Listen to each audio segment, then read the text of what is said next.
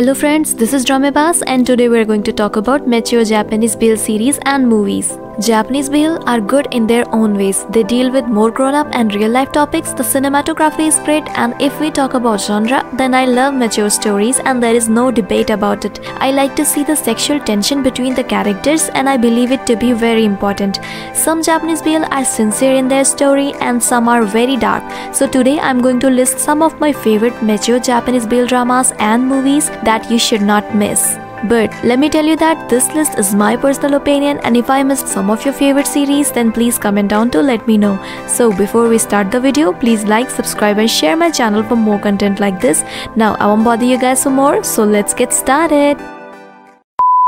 The Novelist Kuzumi Haruhiko is a university student. One day he causes a bicycle accident. The accident causes novelist Kijima Ryo to break his arm. Kuzumi does not have insurance or money to pay Kijima for his injury. Kijima then asks Kuzumi to transcribe a story he is writing. Kuzumi is surprised to learn the story is obscene.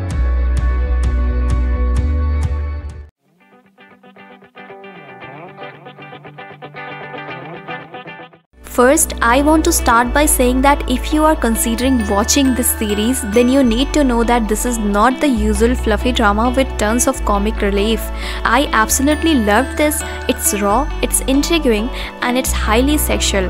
There is a lot of depth in this drama and to this story, and I don't think everyone choosing to watch this will be able to understand it. This series is not about the romance because this is not romantic at all. It is an absolute seductive and dark gem, a straightforward story about the relationship between two men.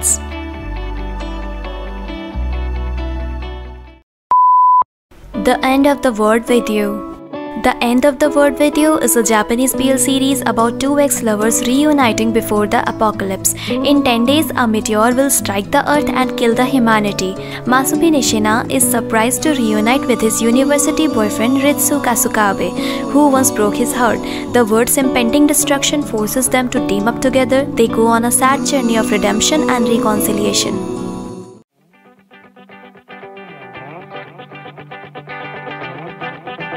This series has an open ending. I am trying not to give any spoilers, that's why I'm not going to tell my theory, but at the end of it, I loved this series. The unpredictable events, eccentric character, and gritty relationship drama create it as a memorable BL series.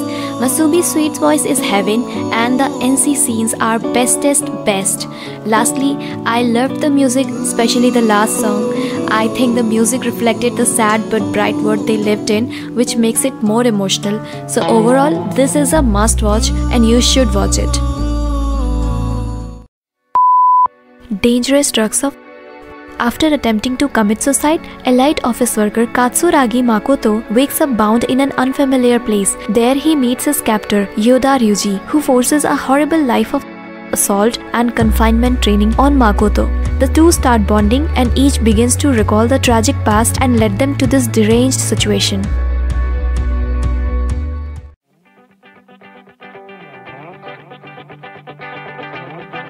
This movie is not for the faint of hearts and if you can take things like kidnapping, rape, BDSM, tons of sex, mature content, suicide and torture, I suggest you stay away from this movie. The story was just not all about or drugs, the story actually have a good plot and for me, they actually put some lessons about life, death and having difficulties living in this world. So far, out of all the Japanese BL movies I have watched, this has been the most extreme and I loved it. Mood Indigo Mood Indigo is a Japanese BL drama about a struggling author who begins to write pornographic novels at the urging of his friend. Although the main character is initially reluctant to work in this industry, he slowly learns to adapt the erotism into his writing. As he dwells deeper into the salacious genre, the relationship with his editor also becomes increasingly sensual.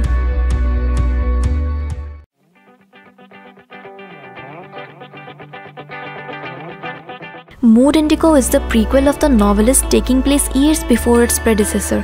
The best part of the series is to realize that no matter what happens in lives, they shared an intimacy with each other that very few people ever get to experience. Compared to the season 1 The Novelist, Mood Indigo, that is the season 2, explains how the novelist became an erotic writer and how he started a relationship with a man. Grand Guignol Set in a solitary island school where only students who have caused problems are gathered and communication from the world is cut off, Homura Itsuki comes to the school as a transfer student. At the school, there is a study group for the 19th century French Creole drama called Grand Guignol, and Itsuki ends up joining that study group. In addition to the members of the study group, the teachers who manage them, the head chef, the mysterious new teacher, and other people who gathers at the school are somewhat suspicious. And finally, a serial murder case like Grand Guignol occurs on an isolated island with no way to escape. Itsuki and his friends are caught up in a vortex of fear of death and love and hate between men.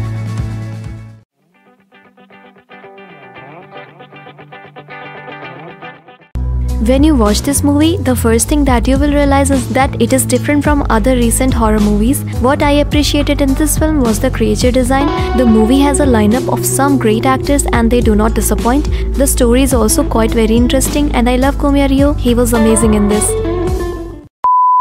My personal weatherman. Popular handsome man and weather forecaster Segasaki is actually a tyrant at home. Yo, an erotic manga artist in a tight spot knows this very well. This is because the two of them are living together. More than that, it's because he cooks and cleans for Segasaki. To no surprise, in exchange for being provided food, he must obey everything that Segasaki says. What comes from such a contract?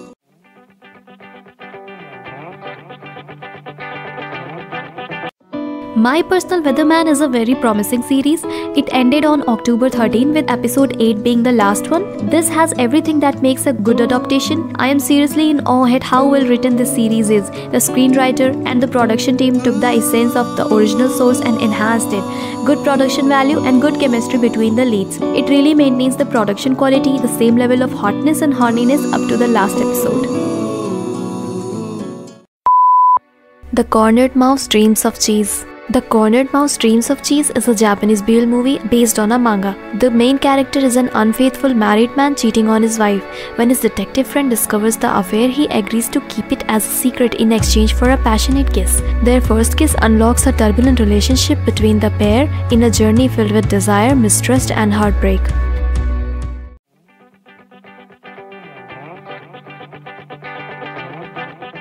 This is not a happy, fluffy, and really sweet movie.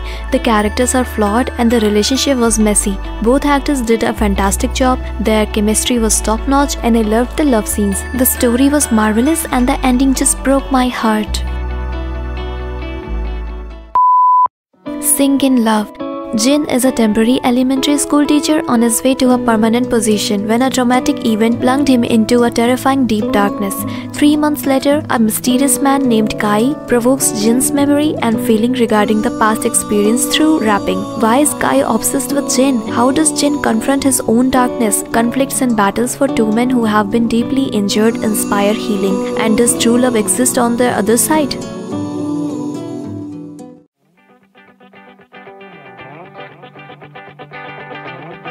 I really love this movie. The acting was amazing and the cinematography is great. This is a film about a lot of things trauma, sexual and social violence, love, desire, and the power of music. Overall, this movie was beautiful, but it does not have an international release yet. But there is Fansub who translated it. We will have to wait for its international release, guys.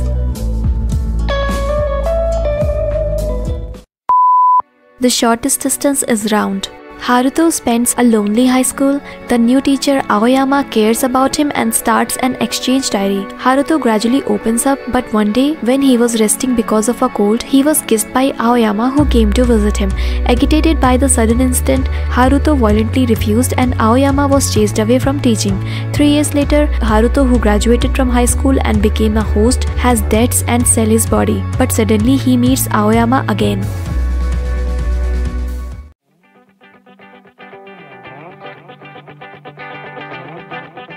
In terms of plot, there really is no plot. The start was actually alright, but as it progresses, it becomes weird.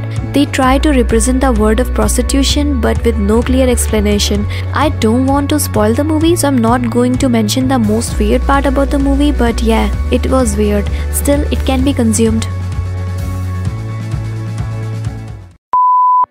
First Love Tadashi is about to take his final school examination. Unbeknown to anyone, he has fallen in love with his fellow pupil Kota and does not dare to tell anyone. One hot summer's day, some of the other schoolboys taunt him, calling him a ponce. This destroys all the hope he ever had of getting together with Kota.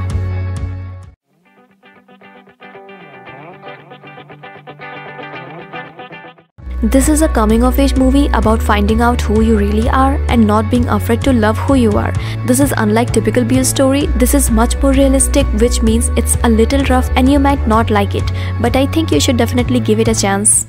That's it for today's video guys. I know that these are not the only good ones so there are more videos to come in the future. Wait for it. Hope you guys liked it. Again if I missed some of your favorite series then please comment down and I will make another video for it. Like my video, share and subscribe my channel for more. Bye bye.